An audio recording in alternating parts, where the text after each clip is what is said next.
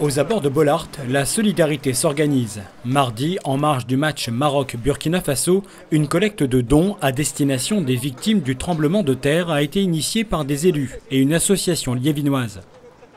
On a mis en place euh, deux opérations, comme vous le voyez là derrière une opération euh, de collecte de produits de première nécessité.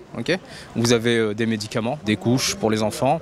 On a pas mal de couettes, de couvertures, des tentes, vraiment des produits de première nécessité. On sait que dans le moyen et le haut Atlas, euh, il y a des températures négatives à partir d'une certaine heure de la soirée. Donc on se doit d'être au, au plus proche des attentes. L'opération consistait aussi à récolter de l'argent. Symboliquement, un euro par supporter était espéré mais les Marocains ont été plus que généreux à en voir les urnes disposées aux entrées du stade.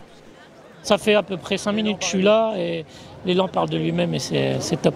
C'est là qu'on sent qu'une. Euh, on est tous un peu touchés. C'est chez nous, on vient de là-bas et euh, merci beaucoup. C'est même des dirhams Même, tu peux le mettre là. Tu peux le mettre là. Merci. Ouais. On a aussi des petites Aussi, super. Il n'y a pas de souci, merci beaucoup.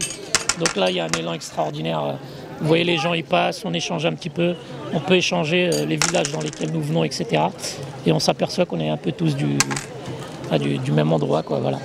Dans le Haut-Atlas, la situation est toujours extrêmement complexe en raison des difficultés d'accès. Ici à Lens, ce poids lourd qui devrait partir en fin de semaine s'est vite rempli grâce au soutien de certains habitants.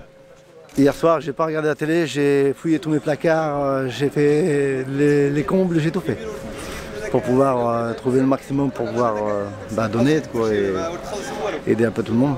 Je trouve ça magnifique et ça nous représente bien. Et euh, je pense qu'ils ont un peu, un peu, besoin de tout, toutes les premières nécessités, c'est-à-dire les soins, dentifrice, brosse à dents, des couches, du lait, tout ce qui est pour les enfants. En tout, 44 665 euros ont été récoltés ce soir-là à Bollard. Les collectes se poursuivent, comme à Avion, Salomine ou à la mosquée de Méricourt. Une aide précieuse pour aider les victimes du séisme.